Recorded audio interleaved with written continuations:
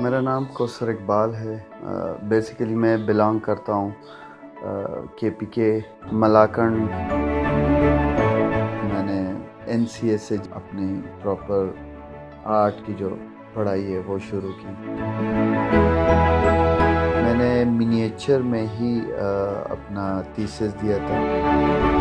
मैं अपना studio practice भी रखता हूँ। मैं इवन मुख्तलिफ़ रेजिडेंसीज पे भी जाता हूँ, मुख्तलिफ़ कंपटिशन्स में भी हिस्सा लेता हूँ।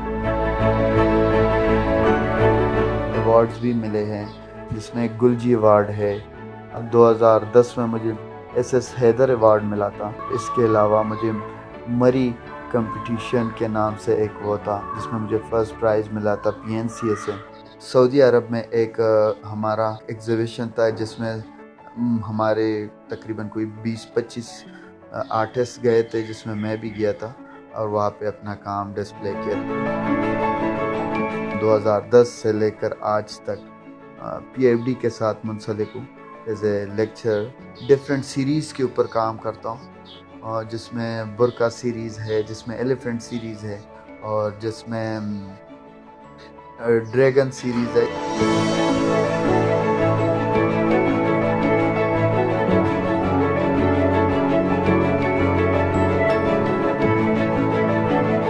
एलिफेंट सीरीज़ थोड़ा सा ज़्यादा ऐसा चला है कि उस पर काफ़ी ज़्यादा काम मैंने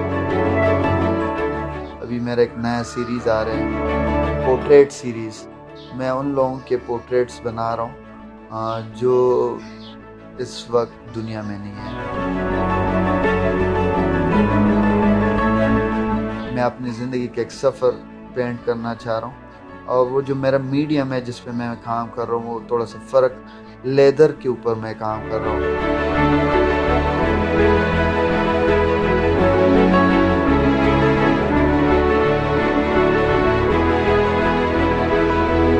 मेरे लिए ये सारी चीज़ें सिंबल्स हैं और मेरे सिंबल्स का बेसिक जो थीम है वो है पीस